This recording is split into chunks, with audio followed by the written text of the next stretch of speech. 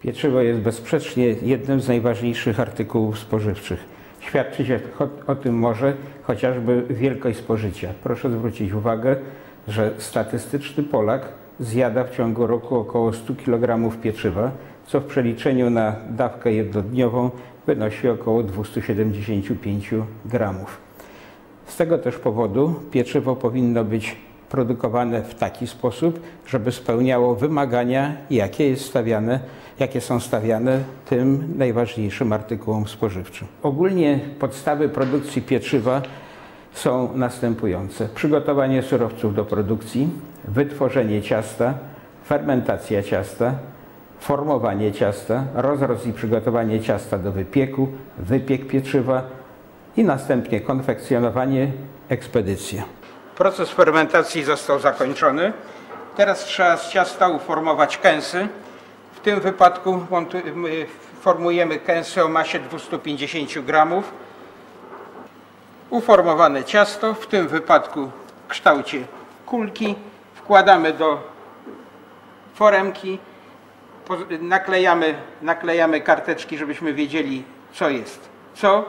Podstawowymi surowcami do produkcji chleba są mąka, woda, drożdże piekarskie i sól kuchenna. Najważniejsza jest mąka. Woda odgrywa bardzo ważną rolę, bo od tego ile mąki, ile mąki weźmiemy, ile do tej mąki dodamy wody, będzie uzależniona wydajność ciasta. A z wydajności ciasta będzie potem wydajność pieczywa. To jest bezpośrednio jedno od drugiego zależne. A wydajność pieczywa to jest między innymi zarobek piekarza. W związku z tym im więcej dodamy wody, im, ale ile możemy dodać? Możemy dodać wody tylko tyle, ile mąka jest w stanie tej, tej wody związać. Nie może być ciasto za sztywne, nie może być ciasto zbyt luźne. Oprócz tych podstawowych czterech surowców mogą być jeszcze wykorzystywane surowce pomocnicze, które mogą być dodawane w zależności od tego, jakie, jakiego rodzaju pieczywo chcemy uzyskać, jaka powinna być jego, jakie powinny być jego cechy. Te inne surowce to jest cukier, tłuszcz, chude mleko w proszku, ewentualnie inne y, produkty mleczarskie, jak na przykład serwatka, czy kwasowa, czy podpuszczkowa, produkty sojowe. Najważniejszym surowcem bezsprzecznie jest mąka. O tym, jaka będzie ilość dodatków innych, no na przykład wody, decyduje wartość wypiekowa mąki. Jest to zbiór wskaźników obrazujących określone cechy jakościowe, mąki będące miernikiem użyteczności pieczywa. Wartość wypiekowa mąki wyrażana jest liczbami. Jednym z najważniejszych wskaźników wartości wypiekowej jest wodochłonność mąki, na przykład czas rozwoju ciasta. Na tej podstawie piekarz ma możliwość określić, jaką ilość wody do ciasta doda, żeby uzyskać odpowiedniej jakości ciasto, a potem jak odpowiedniej jakości pieczywo. Wartość wypiekowa mąki zależy od wielu czynników. Są to one dzielone na trzy grupy. Są to tak zwane czynniki pierwotne, wtórne i pośrednie. Do czynników pierwotnych należą cechy gatunkowe, cechy odmianowe ziarna, z którego została uzyskana mąka, warunki glebowe, w jakich dane, dane zboże było uprawiane, warunki klimatyczne, w tym wypadku są bardzo ważne, i warunki agrotechniczne, czyli wszelkiego rodzaju zabiegi, jakie są wykonywane, na przykład stosowanie nawozów y, mineralnych, termin ich stosowania, czy y, przed siewem, czy jednorazowo, czy dzielona jest dawka na części. Czynniki wtórne to przede wszystkim przygotowanie ziarna do przemiału, sam przemiał, jak i również postępowanie po przemiale. W zależności od tego uzyskujemy odpowiedniej jakości mąki, o czym mówiła pani doktor Ceglińska. I czynniki pośrednie są to tak zwane kompleksy. Kompleks enzymatyczno-skrobiowy, kompleks e- enzymatyczno-białkowy, kompleks enzymatyczno-tłuszczowy i tak dalej. Ale najważniejsze, najważniejsze są dwa pierwsze, czyli kompleks enzymatyczno-białkowy i kompleks enzymatyczno-węglowodanowy, czy, czy y, enzymatyczno-skrobiowy. Ciasta chlebowe mogą być podzielone na trzy zasadnicze grupy. Są to tak zwane ciasta pszenne, które są uzyskiwane z mąki pszennej, ciasta żytnie i ciasta mieszane. Ciasta pszenne można z kolei podzielić na ciasta zwykłe, wyborowe i półcukiernicze. Półcukier, ciasta półcukiernicze są to ciasta, które kiedyś były zaliczane do produkcji piekarskiej. Ponieważ wracamy do tradycji, znowu piekarnie produkują te ciasta półcukiernicze. Czym się różnią od ciast zwykłych czy wyborowych? Różnią się ilością składników, które do tego ciasta są dodawane. Tutaj po prostu w tych ciastach mamy większy udział y, cukru, w innych składników, jak na przykład y, marmolady, y, czyli nadzienia, mogą, może być stosowany ser, może, mogą być stosowane inne y, dodatki, które będą wzbogacały, podnosiły wartość odżywczą tego pieczywa. Ciasta żytnie można podzielić na ciasta żytnie drożdżowe, kwasowo-drożdżowe, względnie kwasowe. Ogólnie można powiedzieć jeszcze jedno. Produkcja ciast żytnich ze względu na właściwości mąki żytniej jest dosyć skomplikowana, a tym samym jest trudna. Wielu piekarzy y, nie ma nawet możliwości wykonania, wykonania takich ciast, ale myśl powiedzenia każdy piekarz z dobrej mąki i z każdej mąki zrobi dobry chleb, tutaj z tym piekarze sobie radzą. Przede wszystkim co to jest pieczywo? Pieczywo jest to produkt spożywczy otrzymany w wyniku wypieku ciasta. A zatem co to jest ciasto? Ciasto jest to jednorodna plastyczna masa powstająca w wyniku zmieszania mąki z wodą i z innymi składnikami, ręcznie lub mechanicznie wymieszana, poddana procesowi fermentacji, przeznaczona do wyrobu pieczywa. W zależności od użytej mąki możemy mieć, tak jak powiedziałem, ciasto pszenne, żytnie i mieszane. W każdym cieście zachodzi proces fermentacji. ten proces fermentacji chodzi o to, żeby wytworzyć odpowiednią mikroflorę w tym cieście, która będzie znowu wytwarzała produkty, które będą nam w, wypad w wypadku procesu fermentacji niezbędnie potrzebne. Niemniej fermentacja jest to biochemiczna przemiana cukrów będących składnikami ciasta pod wpływem enzymów wytwarzanych przez drożdże i bakterie kwasu mlekowego. Rozróżnia się dwie fermentacje, które w cieście zachodzą. Te z tych najważniejszych. Jest to fermentacja alkoholowa, zachodząca pod wpływem, yy, znaczy dotyczy rozkładu cukrów zachodzących pod wpływem enzymów y, wytwarzanych przez drożdże. W wyniku otrzymujemy z cząsteczki cukru C6H12O6 w wyniku procesu fermentacji otrzymujemy dwie cząsteczki alkoholu etylowego i dwutlenek węgla. Ten dwutlenek węgla jest czynnikiem, który będzie powodował spulchnienie ciasta. Mówiąc inaczej, ciasto będzie dzięki temu rosło. Wytwarzany alkohol etylowy jest z kolei ważny z tego względu, że alkohol jako jeden ze składników chemicznych będzie wpływał na odpowiednie y, cechy smakowo-zapachowe pieczywa pod wpływem wysokiej temperatury będzie przechodził ze stanu ciekłego w stan pary, będzie powodował tym samym dodatkowy jeszcze wzrost prężności gazów i wytworzenie gazów w cieście, ale przede wszystkim będzie brał udział w wytworzeniu odpowiedni, odpowiedniego zapachu i odpowiedniego y, smaku pieczywa. Druga fermentacja, która w cieście zachodzi, to jest fermentacja mlekowa.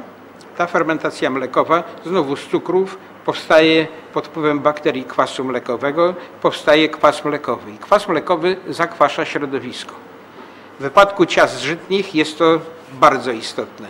W wypadku ciast pszennych właściwie jest za krótki czas procesu fermentacji, żeby ten kwas został wytworzony. I na tym cierpi jakość pieczywa pszennego.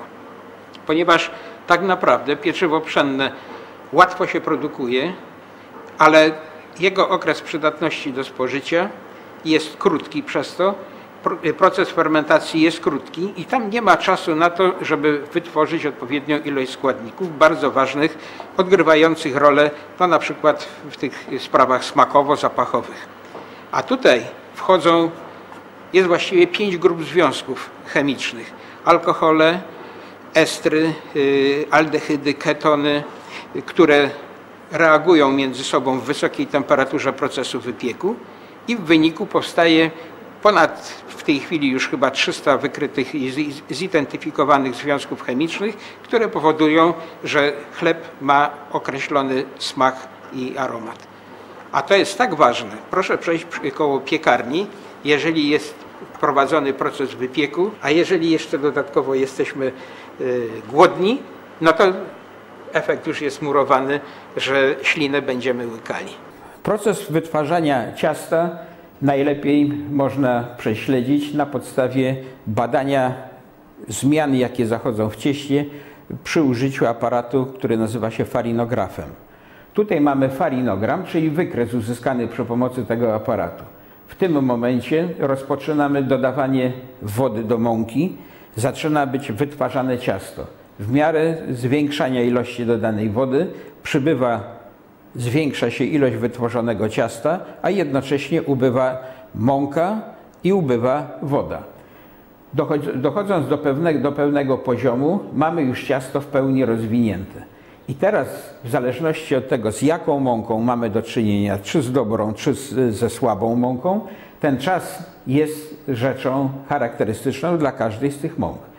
Oczywiście, jeżeli prześledzimy to tutaj na tych trzech przedstawionych wykresach, to tutaj mamy na pierwszym wykresie farinogram mąki bardzo dobrej, tutaj z kolei farinogram mąki słabej. Proszę zwrócić uwagę, że po uzyskaniu tak zwanej stałości, czas tej stałości jest dosyć, czyli niezmiennego poziomu y, krzywej na wykresie jest dosyć długi.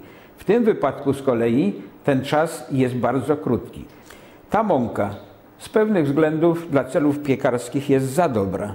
Z kolei ta mąka dla, dla celów piekarskich jest zbyt słaba. Jeżeli w odpowiedniej proporcji zmieszamy te dwie mąki, możemy uzyskać wykres taki, jak jest przedstawiony na tym trzecim y, rysunku i wtedy ta mąka jest o optymalnych właściwościach. Metody prowadzenia ciast przeznaczonych do produkcji chleba są uzależnione od wielu czynników, przede wszystkim od jakości użytej mąki. Ogólnie można powiedzieć tak. Metody prowadzenia ciast pszennych można podzielić na dwie zasadnicze grupy.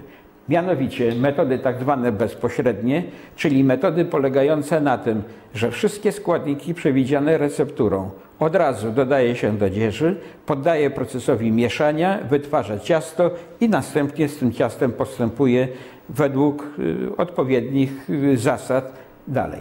Metody pośrednie są to metody dwuetapowe czy dwufazowe.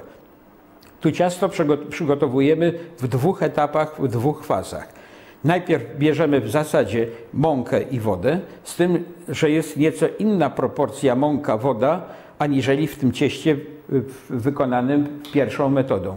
Najczęściej w tych metodach mamy sytuację taką, że dajemy nieco więcej wody, aniżeli by to wynikało z receptury i bierzemy część mąki, dodając do tego y, pewną część wody, ale w większym stopniu, aniżeli wynika to z receptury.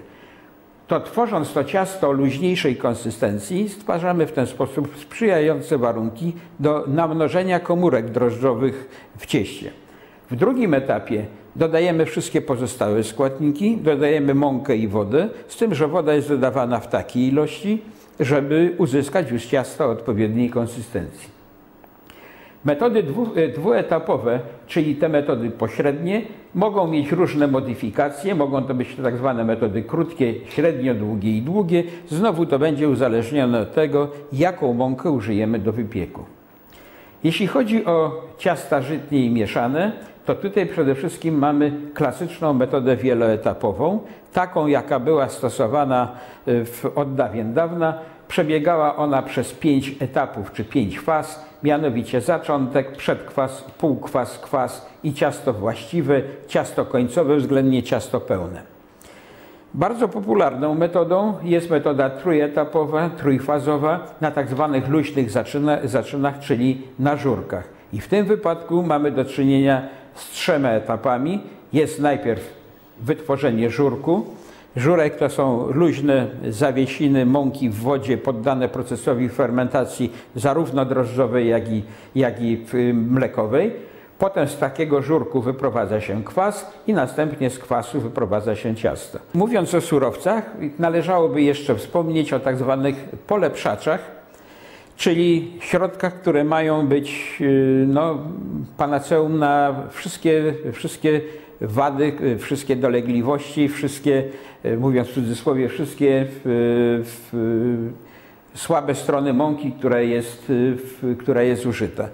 Właściwie można też powiedzieć, że trochę mija już moda na polepszacze. Już w tej chwili staramy się wracać znowu do tych klasycznych metod bez użycia polepszaczy, chociaż są jeszcze y, piekarnie, które y, no, powszechnie stosują, stosują polepszacze. Co te polepszacze powodują? Po pierwsze, zwiększenie objętości pieczywa i to właściwie każdy przeciętny zjadacz chleba może zauważyć, że bułeczka, która jest bez polepszaczy, ma taką samą masę jak ta bułka y, leżąca obok, ale z polepszaczami, ale objętość jest dwa razy większa. To zwiększenie objętości ma oczywiście pewne też i swoje uzasadnienia, no powiedzmy, y, żywieniowe. Polepszacze powodują przedłużenie świeżości pieczywa, poprawiają strukturę miękiszu pieczywa. No i to, to było przyczyną, że polepszacze mniej więcej w latach, w połowie lat 90. zaczęły być już właściwie powszechnie w kraju stosowane. W tej chwili raczej widzimy jak gdyby odwrót. Zresztą zmieniło się też i trochę podejście. Kiedyś mówiło się o polepszaczach do ciasta pszennego, do ciasta żytniego. W tej chwili producenci podchodzą raczej w ten sposób, że pytają konkretnie o jakość, o jakość użytej mąki. Proszą o przysłanie próbki takiej mąki i do tej konkretnej mąki dobierają odpowiednie, odpowiednie proporcje wszystkich tych związków, które stanowią polepszacz.